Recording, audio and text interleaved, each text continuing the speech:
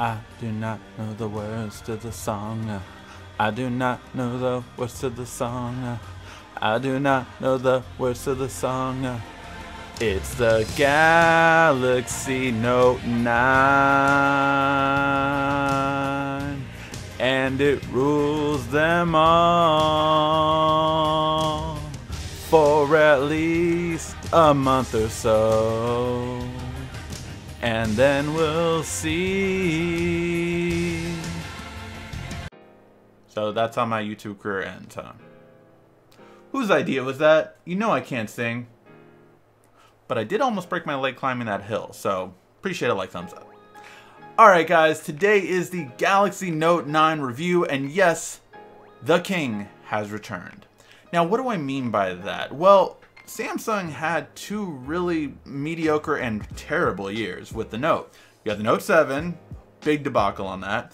Then you had the Note 8, which was a safe bet. Really, it very much was the whole idea that got started of, it's an S8 Plus with a pen. That was it. And now the Note 9 really brought some differences. Did it bring in fingerprint scanner like I wanted to? No. Did it bring, you know, some better things like a 4K display like a lot of people want to know? And did it bring certain things? No. But is it currently the best overall smartphone on the market? Yes. If you if money was no object and you could buy one smartphone currently right now, I can safely say this is the best smartphone out of all of them. So let's get to it. So first and foremost, I like to talk about the big two. The big two are the things that are important to everyone that buys a smartphone pretty much, and that is battery life and camera. These are the two parts that pretty much 90% of people care about and the rest care about the other 10%. So let's go first and foremost. The battery life on this phone is just really amazing.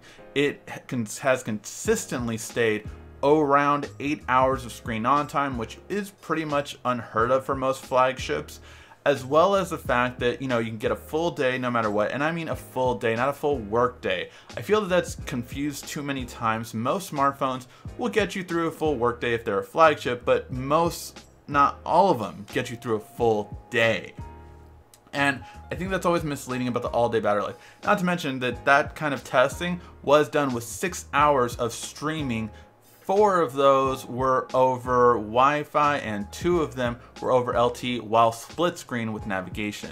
So yes, in our all day battery life test that we did, it really, really passed the test after three days and now after weeks, it really has been amazing battery life and it truly lives up to the hype, especially if you do those battery tweaks, which someone should send to Linus Tech Tips because I hear he's having problems with his. So overall, the other thing is the camera quality. And I don't care what your favorite YouTuber says, because your person might say, oh, well, the camera's good, but is it is it $500 more worth the Galaxy S9 over the OnePlus 6? Yes. Yes, it is. So, eh, my favorite YouTuber. It doesn't matter what he says. The point is, is that is worth more money to people, again, who really want the best overall. Not the best value, but the best overall. Now the OnePlus 6T is going to have a better camera in low light, so we're going to have to see how that goes. But right now, yes, this is the difference you get. And by the way, this same shot was better on the Note 9 than the Pixel XL2 as well as the iPhone X. So although we're going to be testing out against everything as it comes out, currently right now the best low light is with the Galaxy Note 9. It also has amazing color accuracy, one of the best selfies out there, and definitely one of the best video qualities. The video you saw in the beginning was shot with the Galaxy Note 9 at 4K 60 frames per second. So yes, this phone really stands out on those features but it's all the extras that you don't always get in other smartphones that really make it amazing. 512 gigs of storage built in on my version along with 8 gigs of RAM is just amazing. Especially since Samsung has the fastest built-in storage, my phone has moved absolutely amazing without the need of an SD card, but I still have the option of one if I want one. That is really impressive. Not to mention that even the 6GB 128, when I did test it out through the beta period and through everything else, it performed really great. So what else does it have? It does have the S Pen and I don't care what anyone tells me, I miss the S Pen every time I leave it. Me personally, I love the highlighting any text feature. However, I have found on occasions now that yes, having that pen take a photo really is just a nice uh, convenience feature. And it always is a wow factor. Anytime I show it to someone, that is the thing that sells them on this device. Even though it might not ever be used, it really is something that sells them on this device. You also have the best waterproofing on a smartphone. You have things like wireless fast charging, which is so much better than wireless charging. I feel sorry for all the users that still have to deal with old fashioned wireless charging. It really is just so much better in terms of having all the extras.